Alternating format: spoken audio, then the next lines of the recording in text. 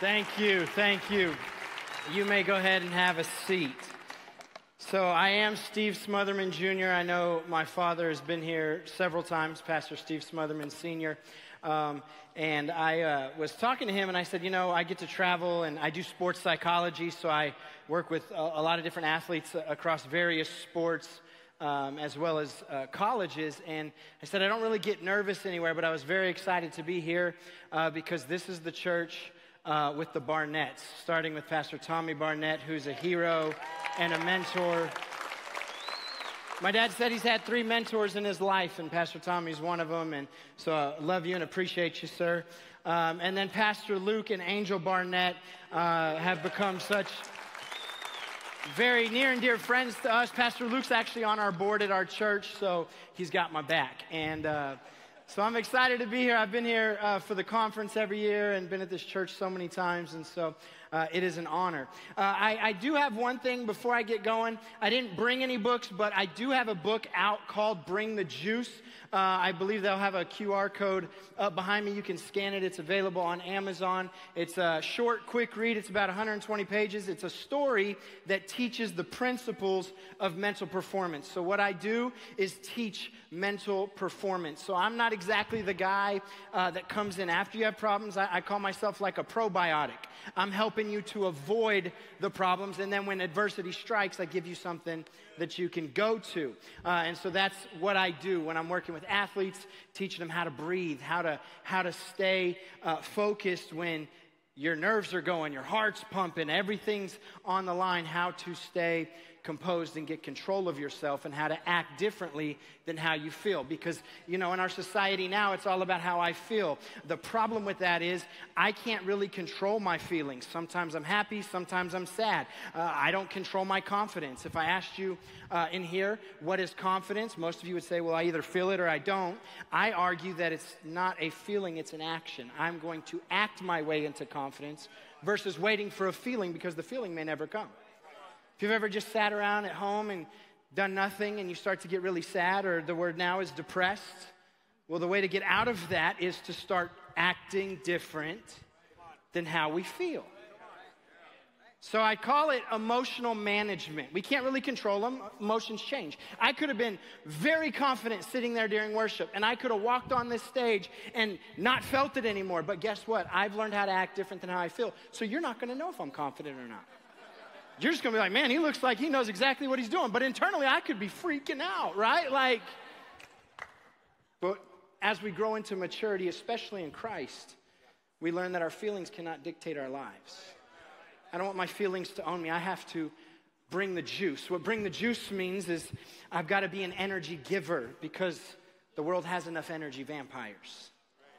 So I always ask, are you a fountain or a drain? When you walk in, especially as the people of God, Right? We, we can't be the same as everybody else that we work with. They complain, we don't.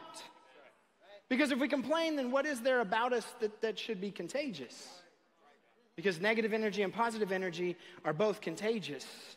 But the people of God have to understand that sorrow may last for the night, but joy comes in the morning. We've got to be people that, hey, I don't really like my boss, I don't really like my job, but I'm going to do it as unto the Lord, and I'm going to give it the best effort that I can, regardless of how I feel about it. And you say, but you don't know my boss. Well, I read in the Bible there was King David who had a boss that threw spears at his head. So, unless your boss is throwing spears at your head, which if you're in America now, that means you're probably in an illegal job.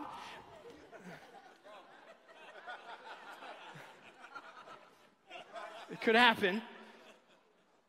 But you can figure it out. And you can have a good attitude because God's not going to be able to elevate us unless we learn to act different than how we feel right where we're at. Why? Because excellence in small things is excellence in all things.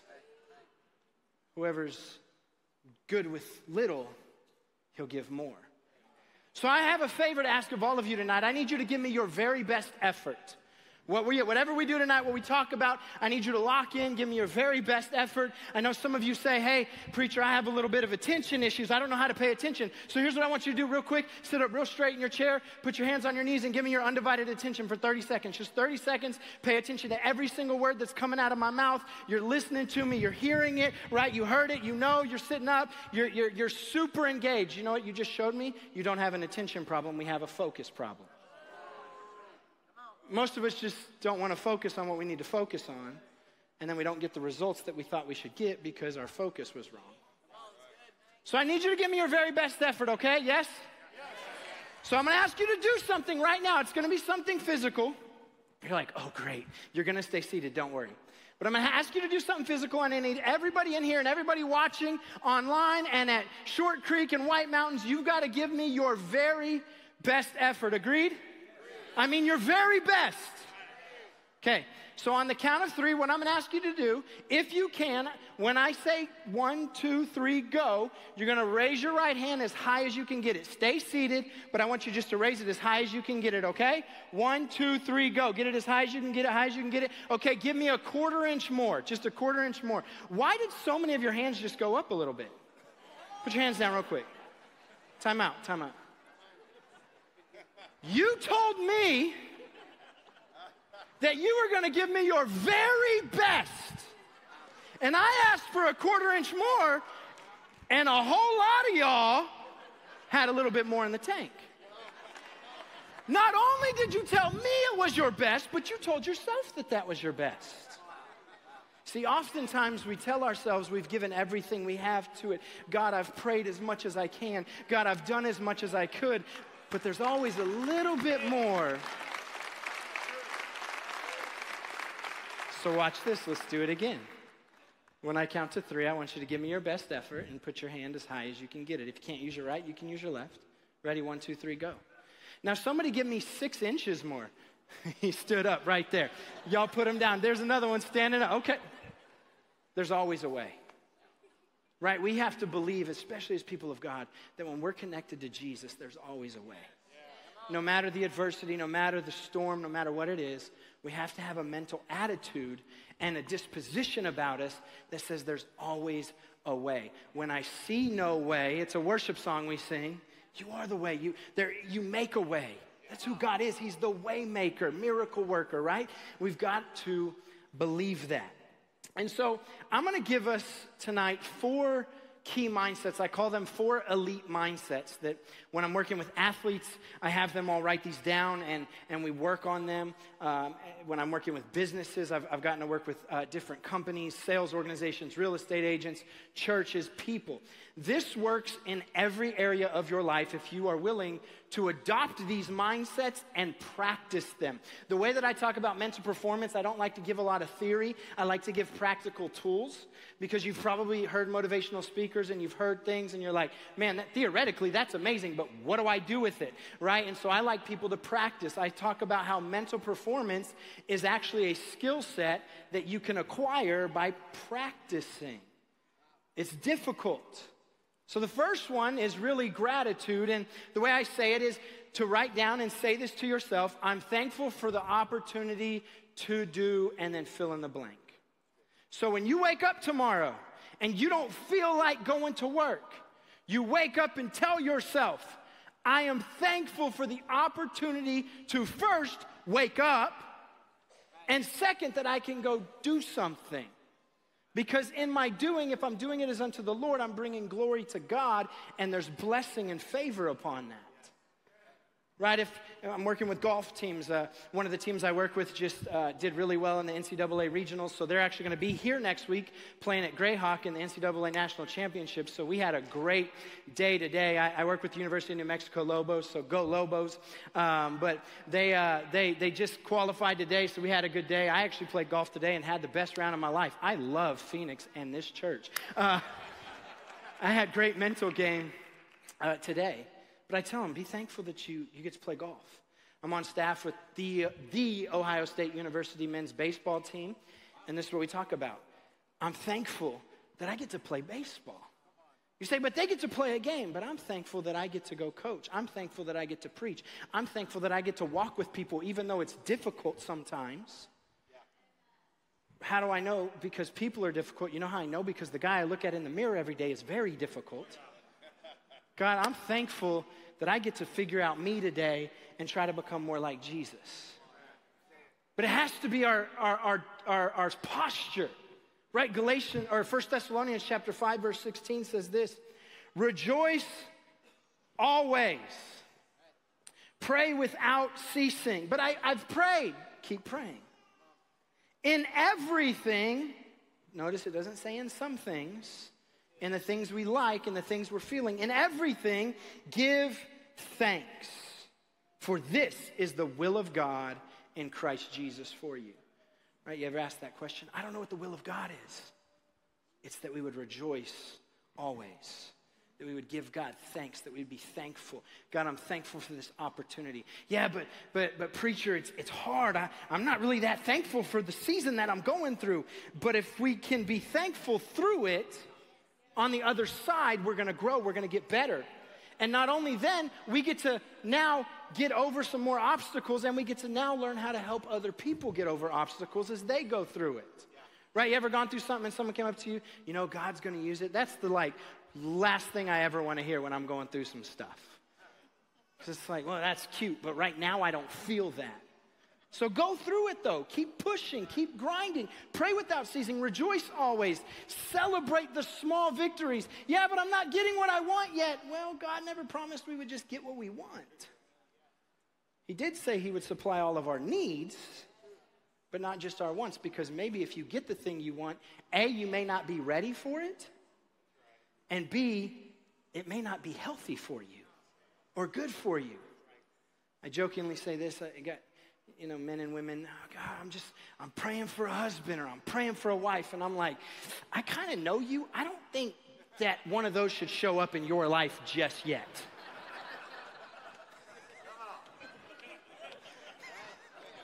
I don't know if you're ready for that yet. God's got to work out a few things in us first before you're going to get that because you're not going to know how to handle it yet. Right? Because we've got to stay committed to growth. But we have to be grateful. There's a story in Luke chapter 17, verse 11. It says this As Jesus continued on toward Jerusalem, he reached the border between Galilee and Samaria. As he entered a village there, 10 men with leprosy stood at a distance crying out, Jesus, Master, have mercy on us. He looked at them and said, Go show yourselves to the priests. And as they went, they were cleansed of their leprosy. One of them, when he saw that he was healed, came back to Jesus shouting, Praise God. He fell to the ground at Jesus' feet, thanking him for what he had done. This man was a Samaritan. Jesus asked, Didn't I heal 10 men? Where are the other nine? Has no one returned to give glory to God except this foreigner? And Jesus said to the man, Stand up and go. Your faith has healed you. What I want us to see is the Bible talks about it's impossible to please God without faith. He healed 10, only one of them gave glory and was thankful. So the others were cleansed of their leprosy, but the one was completely made whole spiritually. When we have an attitude of thankfulness, or as you've heard, an attitude of gratitude, not only can the miracle happen, but the biggest miracle of all is that our souls will be saved. That we can have some peace in our spirit. When there might be chaos around us, we can have some, some peace inside, knowing that we're thankful to God. And Jesus showed us that here. Go away, your faith has made you or has healed you. And I want you to notice something. When we're lacking gratitude and thankfulness, it's noticed by God. Jesus noticed that there was nine that didn't come back. He said, Didn't I heal 10? Where's the other nine? I wonder if in our lives sometimes Jesus is saying, Hey, where are you? Because that's the human condition. We always forget what people do for us. We always forget what God does for us. You say, well, how do you know? Look at, look at Exodus. He, he, he pulled them out of Egypt. Moses goes up to the mountain to get the Ten Commandments, and they're down there making a golden calf. completely forgetting everything that God's already done for them. It's the human condition that we have to practice thankfulness, practice remembering. Well, if I'm forcing it, is it, is it legit? Yes, because you're making an intentional decision to thank Jesus. You're being intentional. You can't, and I can't put my walk with God on autopilot. You say, Well, I've made it a habit. I read the Bible every day. That's incredible because now you're being intentional. Well, I didn't feel like reading it today, but I did it. That's intentional. Some of us may have just gotten a huge win tonight. You didn't feel like coming to church, but you're here. So, guess what? Your whole day may have been horrible, but you have a huge win because you said, I'm going to honor God enough to come into the house of God, the house of prayer night, and get some help. And get, it, get in the presence of God and get with other believers and, and just see what God can do. But we have to have that first attitude. I'm thankful for the opportunity to do whatever it may be. You know, there's a story about a Chinese farmer, and he and his son, they had a, they had a horse. They had one horse. They loved this horse, and it was a great horse. But one day, the pen got left open, and the horse ran away. So the son goes to the dad and says, Dad, this is terrible. This horse, we had one and he ran away. This is the worst thing ever, Dad. We don't have a horse now. We can't do our work. We can't do all these things. Dad, we're done. The dad looks at him and just says, Maybe. So two days go by. All of a sudden, off in the distance, he sees the horse again.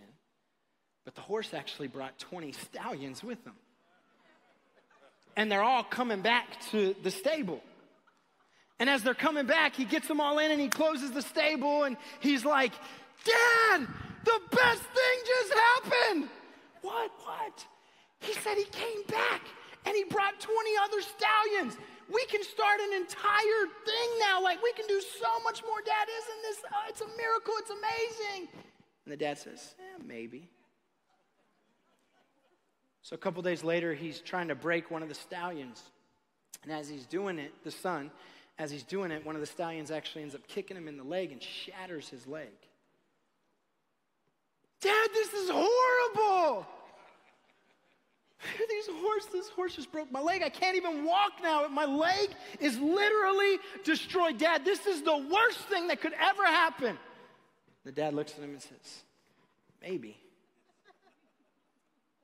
A few days later, the country goes to war.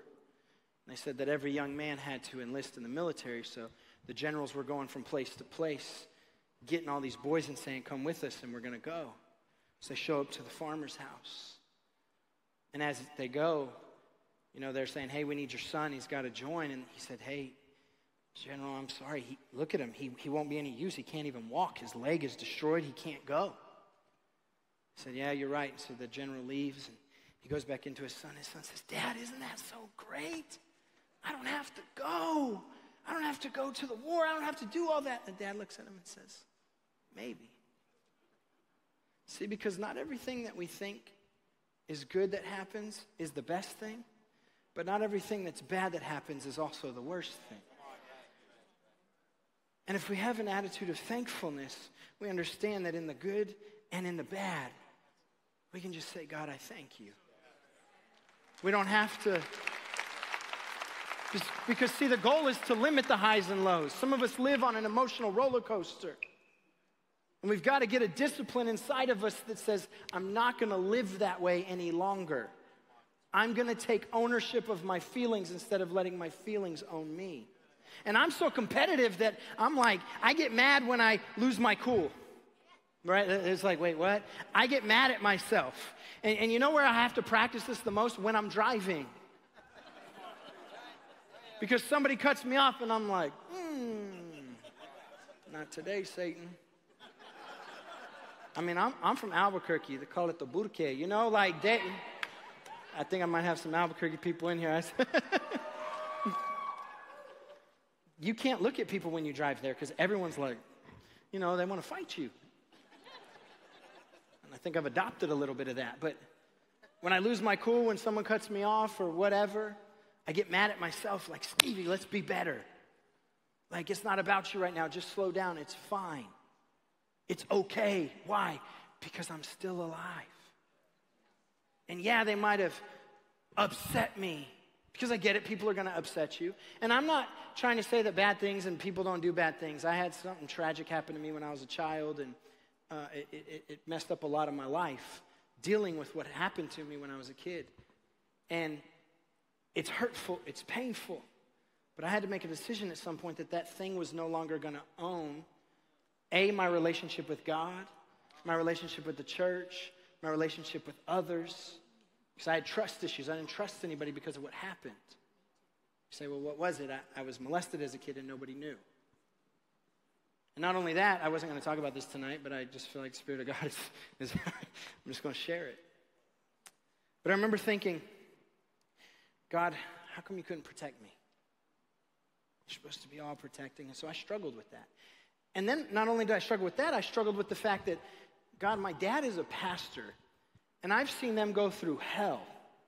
I've seen them go through so much junk people attacking them, people doing things, and they've given their lives to you.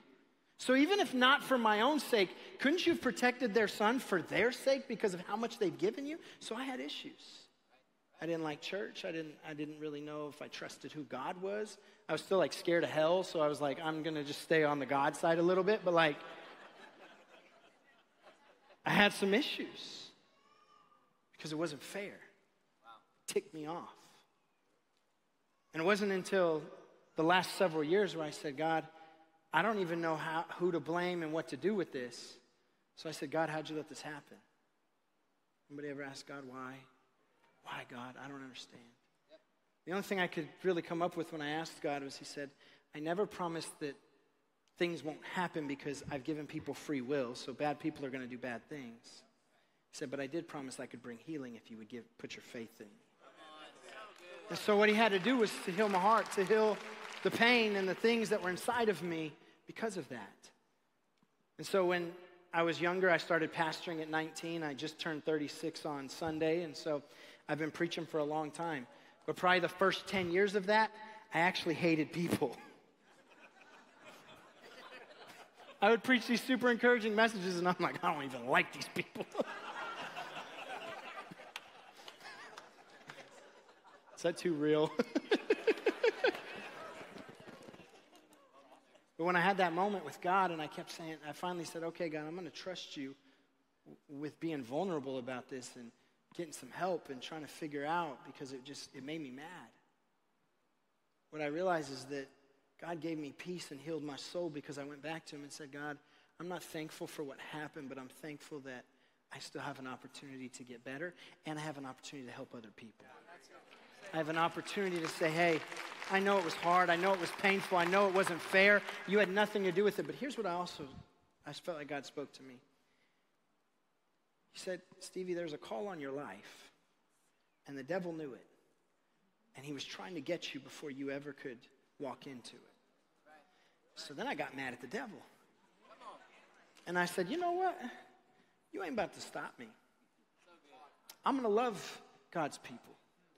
I'm going to love even the people that harmed me. And that was hard for me because I didn't want to love them. I wanted to. I'm not going to say that. Starts with a K, ends with an ill. Them. We've been there. I've been there. So I'm not talking about this from a place of someone who's like, oh, you're the preacher's kid that never had anything happen. I was the preacher's kid that something happened to. All the while, my dad is giving his life to everything God's doing. It frustrated me, caused a lot of insecurity. I wasn't confident in anything I did. And I was preaching and doing all this stuff, but I wasn't confident in it. I, I, I, was like, God, I'm just doing this because I grew up in church. I grew up in the preacher's home. I wanted Bible trivia all the time. In kids' church, we played Bible trivia all the time. My team never lost. Everyone's like, I want to be on Stevie's team. Well, yeah, because I've watched every Nest. There were these Nest videos of Bible stories. I watched them a million times. I knew all the trivia. But what I didn't know was the healing grace and mercy of Jesus. I knew all, I had the head knowledge. See, because you can read the Bible all day, but if you don't apply it, it's worthless. K minus A equals nothing. Knowledge minus action equals nothing. But K plus A equals everything. Knowledge plus action equals everything. Knowledge plus action equals results. And I came across this video in my coaching, and it's a guy named uh, Jocko Willink who talks about, and you, you may have seen it, but I'm going to show it to you. He talks about when something's going on, it kind of goes with the maybe story that I shared. He said we need one word response, no matter what it is good, bad, something great happens, something bad happens. We look at the problem and we say good. So I want to show you this video real quick. But isn't that how the people of God should be? We should go on the attack. Second mindset is I need to say to myself, the way I write these is in, in an I am. I am aggressive and relentless. So I, am thankful for the opportunity to do second elite mindset is I'm aggressive and relentless. When I'm working with the, the pitchers and the hitters at Ohio State or the different athletes and uh, some of the UFC fighters I work with, ah, it's not going my way. Good. It's fine. Why? Because I'm prepared and I'm, for us as people of God, I'm connected to Jesus and He's the ultimate champion. He says, In this life you'll have trials and troubles and tribulations, but take heart, for I have overcome the world. He says that we're more than conquerors, that we're overcomers, which means I have to have a default attitude of being aggressive and relentless. I can't be timid.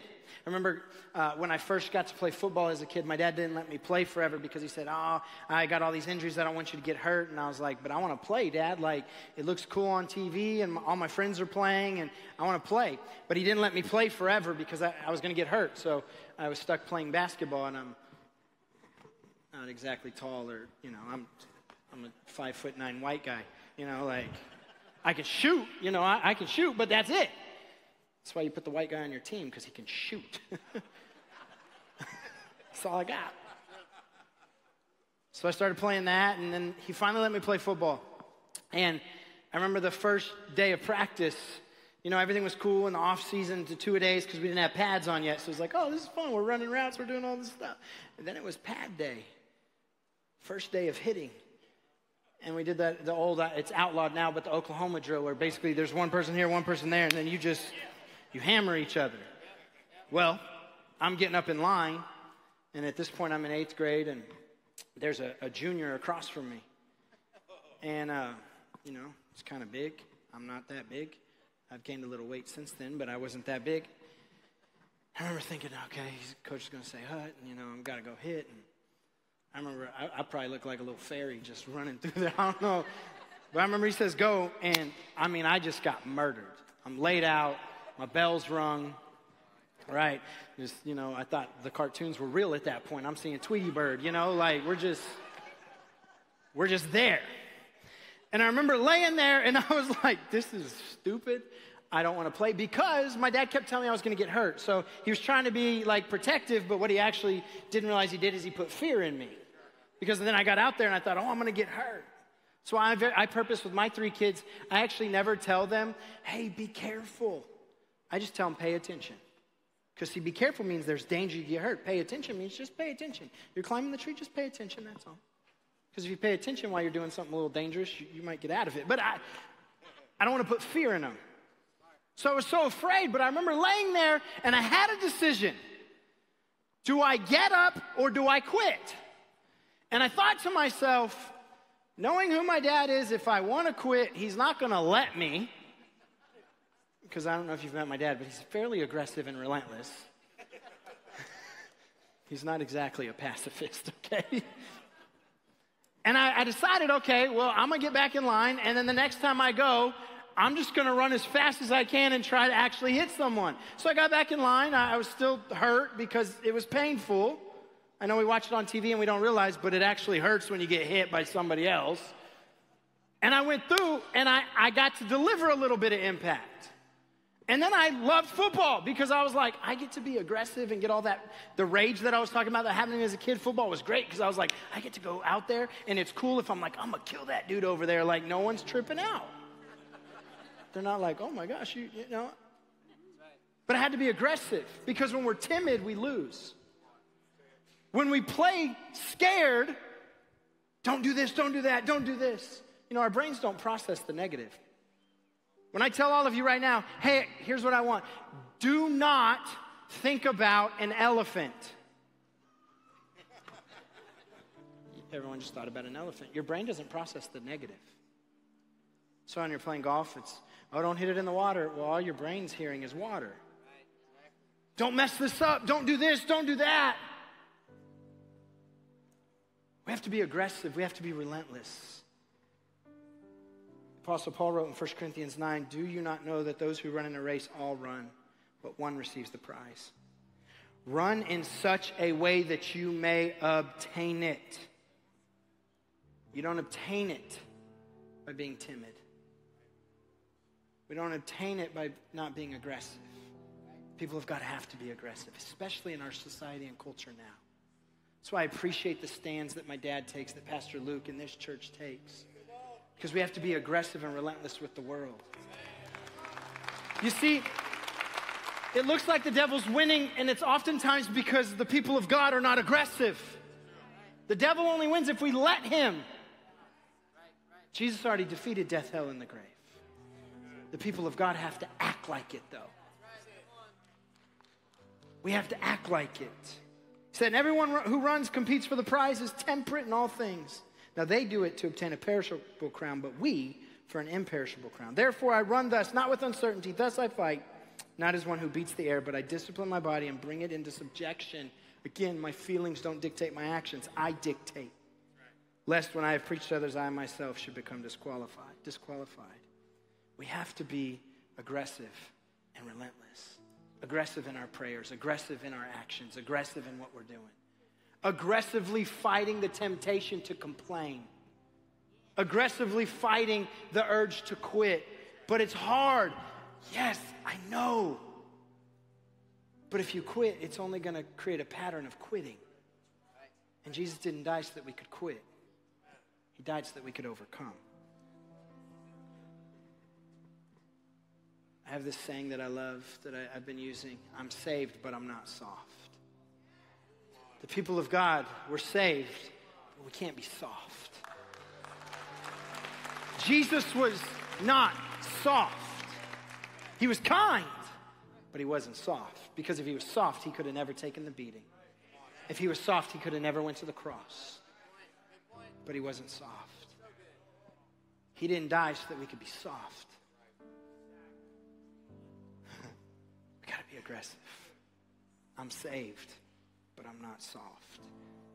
Another way I like to say this is are you a predator or are you prey?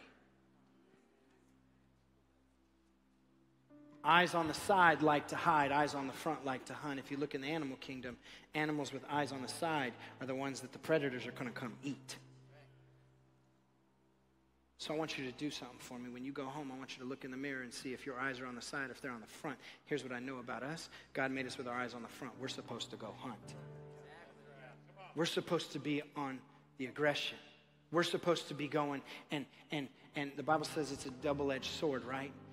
One side is to pierce our own hearts, the other side is to fend off the enemy.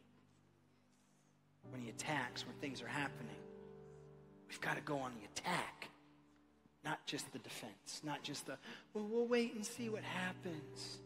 Well, while we sit on our hands and twiddle our thumbs, the devil takes territory.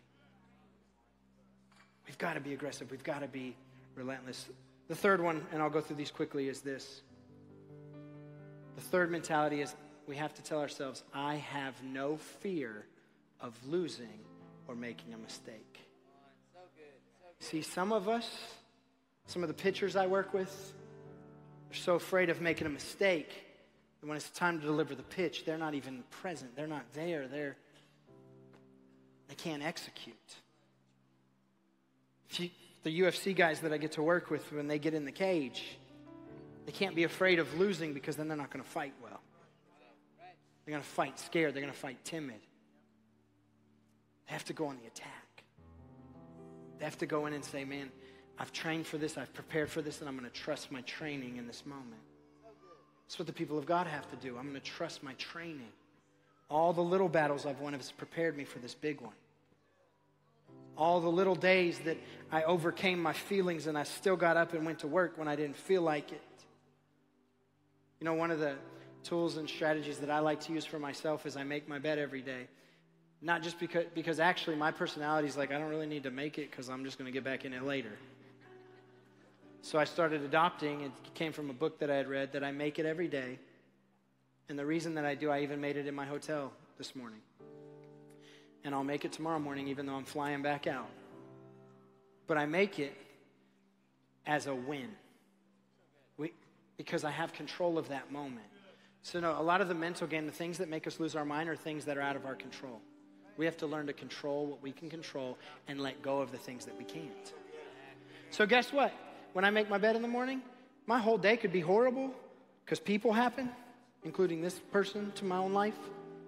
But guess what? When I come home, I come home to a made bed and I remind myself, you had one win today.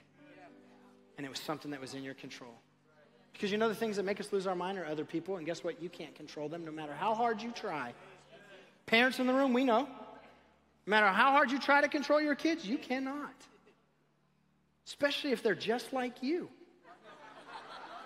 For my control freaks in the room, you're creating little control freaks, and guess what? They don't want you controlling them. Just like you don't want anyone controlling you. What a concept. I'm kind of playing. We have to say, I'm not going to be afraid of losing or making a mistake. Why? Because they're going to happen. Jesus died to help us when we make mistakes. Because that's essentially what sin is it's a mistake. Sometimes intentional, sometimes not. But it's like in movies, it's a missed take. You know what they do in movies and stuff when the take isn't good? They do another take. See, because God's not the God of a second chance, He's the God of another chance. And He died and rose again to forgive us of those sins and those mistakes and those things and the times that we lose. The Bible says the righteous may fall, but they get back up. You say, well, how do I know if I'm righteous? Do you get back up? That's a sign of righteousness. That I may stumble, I may fall, I may make mistakes, I may sin, but I'm going to repent and I'm going to get back up. See, having no fear of losing is all about walking with confidence, even if you don't feel it. I'm going to actually do something fun real quick. I know we kind of got the altar callish music going, but we're going to do something fun. So I need. Um, I kind of volunteered some people with the help of Pastor Luke, and so I need the campus pastors to come up here real quick, and I need my friend Doug Hunt to come up here real quick, and then I need Angel to come up here real quick. if y'all can come up here, they're like, "What are we doing?" Blame Pastor Luke. Blame Pastor Luke for this. I love Angel's just laughing. So here's what we're gonna do with them. We're gonna have a little fun. So I've been talking about confidence, right? The way I teach confidence is there's three things I call it your BFS body language, focus, and self talk. And so I help athletes and people identify when you're not feeling confident, what's your body language, what's your focus, what's your self talk. Typically, when I'm not confident, my, my body language is kind of sinking. I, I might be sweating more, I'm kind of hiding. My focus is what are other people going to think about me? They think I'm stupid, I don't belong here, I'm not good enough, right? Uh, that's my self talk as well as my focus. My focus is on myself and how I feel. But when I am confident, my body language is big. My focus is that God put me here to be a blessing to these people, to help them, to do whatever. And my self talk is, I may not feel good, but God is good.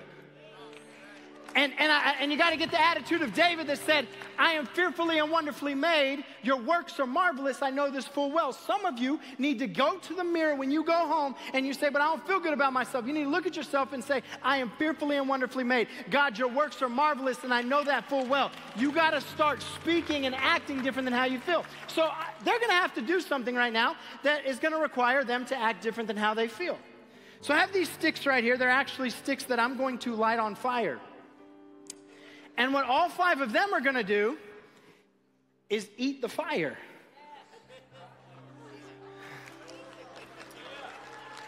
Y'all are like, wait, for real? So here's how this is going to work. I'm going to give each of you one. You're welcome. Doug said, I did not volunteer for this. I voluntold him. I appreciate you, Doug. So here's how this works. This is a practice in acting different than how you feel. So here's what we're gonna do. Can I borrow yours real quick? You're gonna hold your, your stick. We're gonna dip it in um, some fluid right there. Okay? This is, this is great. Ashley, just ignore him.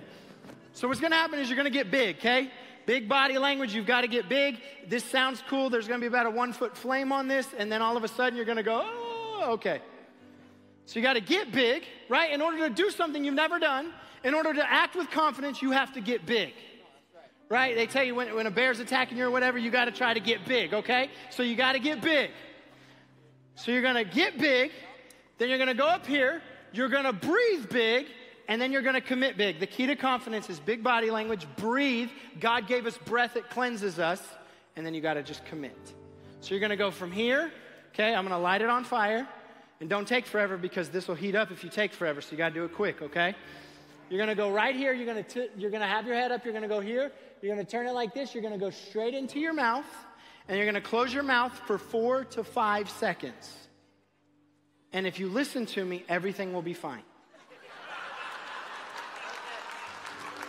Y'all think they can do it? Okay, so here's what we're going to do.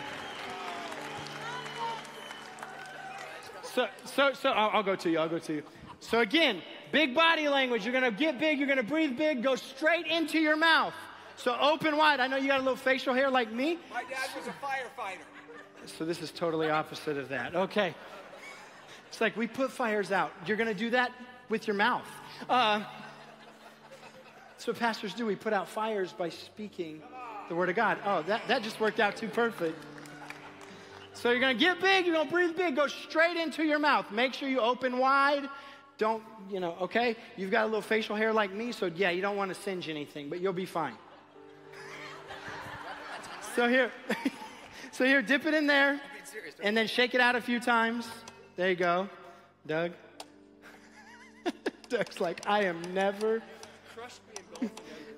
He's upset with me because I beat him at golf today, and I think it was about halfway through the round. I said, "Hey, Doug, I need you to, I need you to do something tonight." And his face was like, "What?" And me and Pastor Luke said, "Just trust me." And so I think he was thinking about it. Okay, shake it out a little bit. Okay, so you guys ready?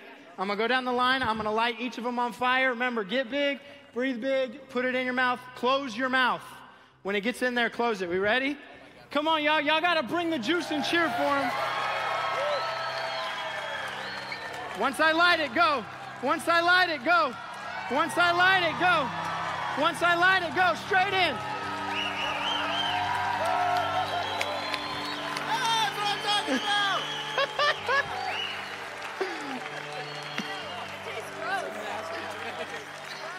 There we go. Y'all give it up for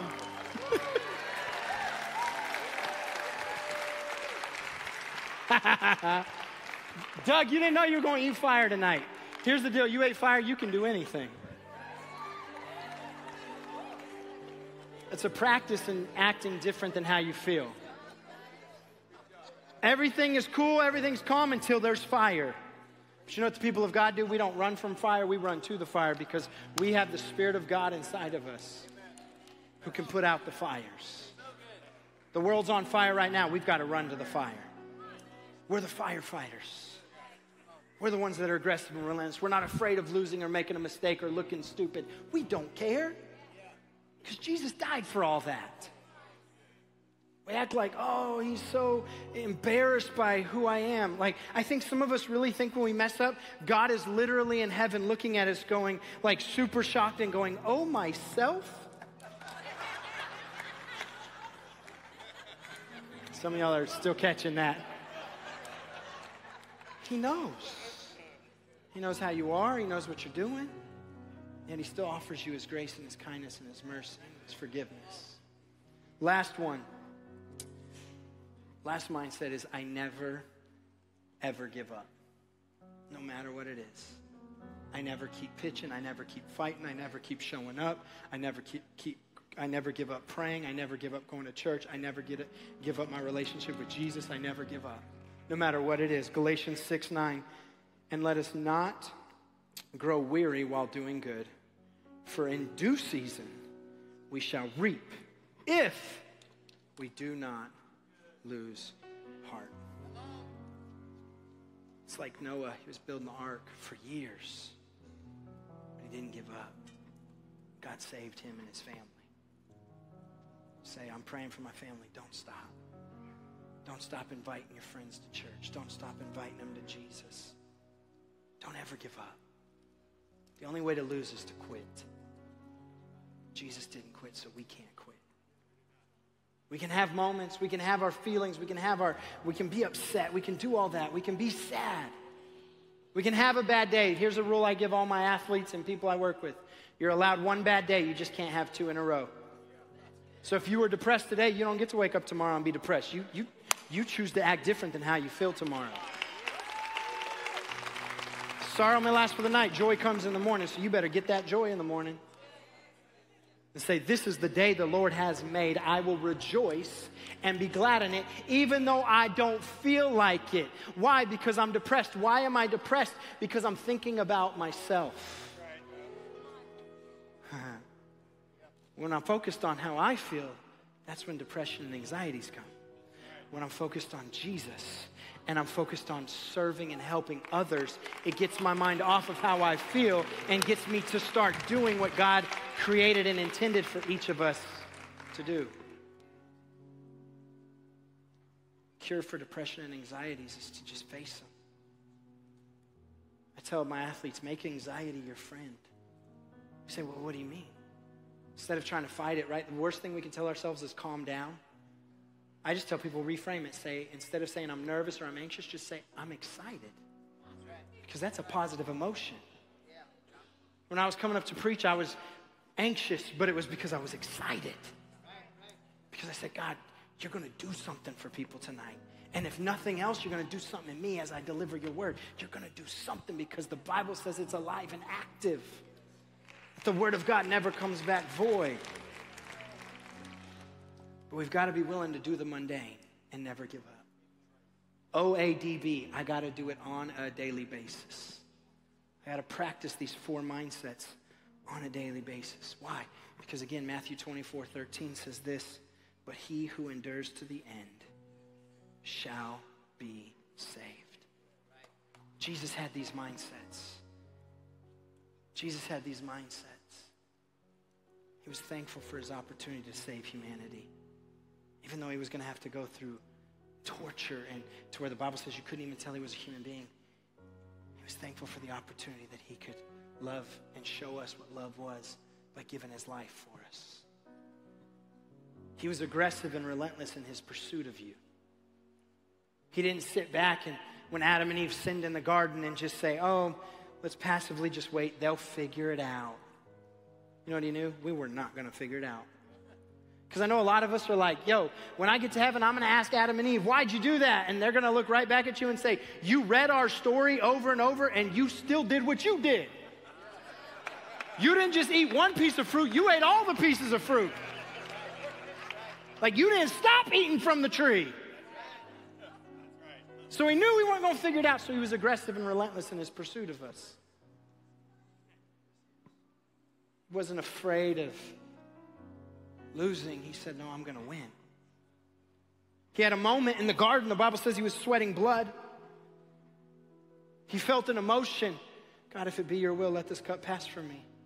But not my will, but yours be done. Jesus showed us how to act different than how we feel. He could have ran and could have hid. He could have said, I'm not doing this. They're not worth it. He said, No, they're worth it.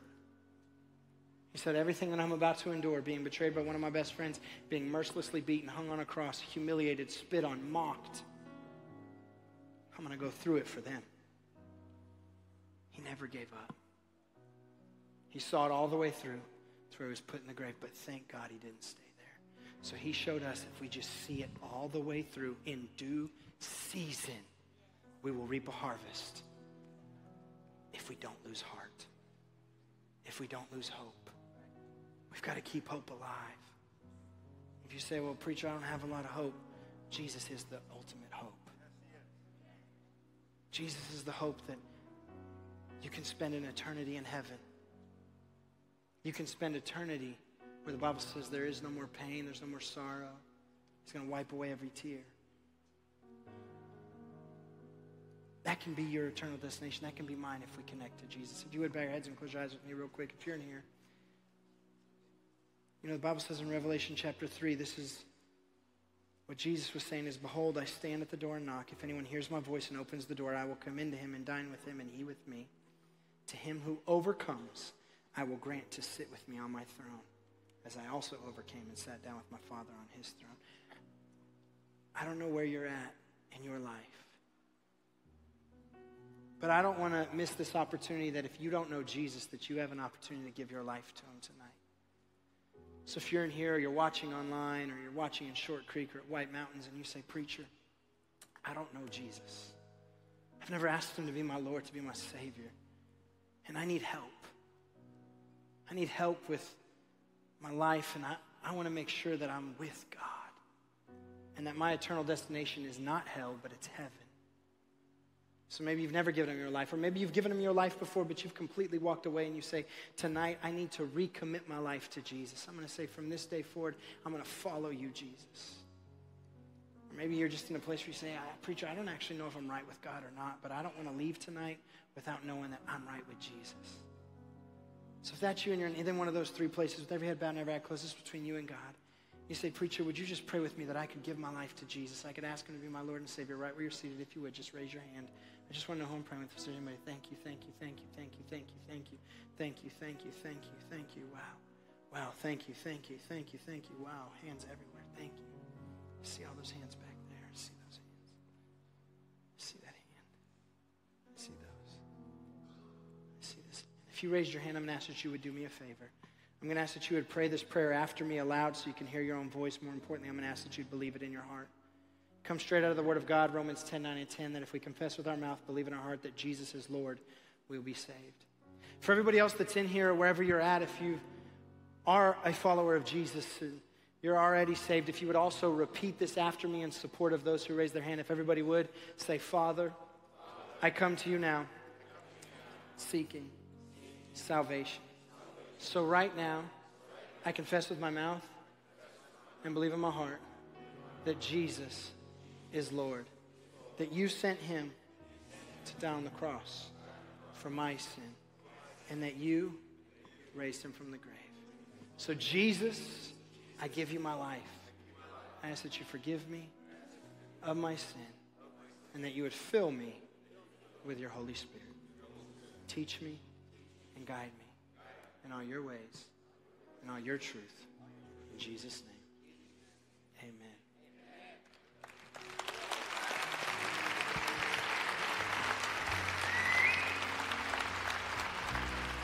I want to say a quick prayer for you, and then I'm going to turn it over to Pastor Luke. If you would just, attitude of prayer, just one more time. If, if you're in here and you say, Preacher, I need work on my mindset, I want to I want to commit my mind to God tonight. I'm not, I don't know your situation, I don't know where you're at, but I'm just going to pray for you. If that's you and you say, you know, maybe I need to start adopting these or there's something in it, and I just, I want some prayer for that. If right where you're seated, if you would just raise your hand, if that's you and you say, you know what, God, God, you see these hands, you know their story, you know their heart, you know what's going on in their minds. You know their battles, you know their heartaches. Maybe some of them connected with my story, God, and maybe there's been so, so much hurt and pain that their, their mind and they're, they're just angry. God, I pray that in the name of Jesus, you would just fill them with your peace that surpasses all understanding. God, let them know that you saw what happened. You see the things. You, you see the stuff. You see the stuff that others have done, but you've also seen the stuff that they've done. And that you're just offering them help. God, that they would have an attitude that says, I'm thankful. God, that they would be aggressive and relentless. Maybe they haven't before, but today, from this moment forward, they're going to be aggressive. They're going to be relentless. They're not going to have a fear of losing or what, what are people going to think. God, we only care what an audience of one thinks, and that's what you want and who you are. That they would never give up. God, give them grit, give them toughness to endure all the way to the end. In Jesus' name. Amen. Amen.